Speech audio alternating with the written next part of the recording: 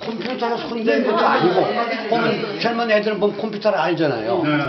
컴퓨터도 아니고 이거 그냥 어떻게 나옵니까 이거예요. 예, 예. 근데 이게 뭐냐면 하레이션이에요.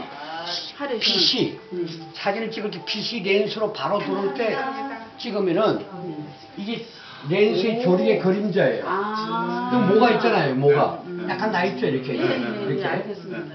그러니까 이게 하레이션이 오면은 사진이 선명도가 나빠지니까 후드를 껴요, 앞에다가. 예, 예. 빛을 안 막, 막기 위해서. 우리가 모자 챙선도 똑같은 거죠.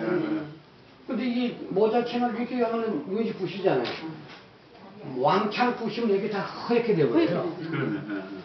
아주 약하게 보면 또 이게 안 나와요. 요게 타이밍이 딱 맞아요. 빛의 밝기가. 햇빛의 밝기가 아주 착착했을 때 마주보고 찍어야 돼요. 그러니까 이게 일반 사람은 다 내버려요. 하레이션이 왔다고. 이 사진이 못 쓰는 사진이에요. 그렇죠. 그 나는 못 쓰는 것을 이용을 한 거예요. 네. 그러니까 조금 머리가 조금 좋았죠.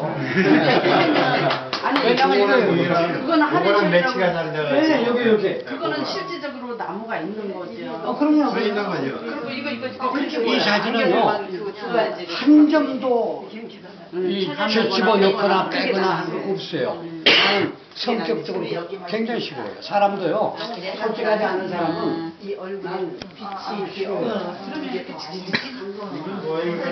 아, 이게 그, 빈 틀에 앞으로 꼴로 괜찮아서 이 게 하고 있는 거예요. 이게. 네, 그럼요. 음, 그러니까 굉장히 세밀하면서도 좀 그렇죠. 특이한 맛이 나는. 그 이거는 이- 정말 엄청 좋아하는 그, 그 전문가는 네.